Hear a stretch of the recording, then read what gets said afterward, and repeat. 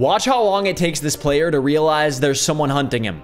I mean, who gave this guy the Snoop Dogg skin? Come on, the only place you'll find players like these are in FaZe Swagg's lobbies or VPN lobbies. I mean, he's literally looking at his player in disbelief. Unbelievable.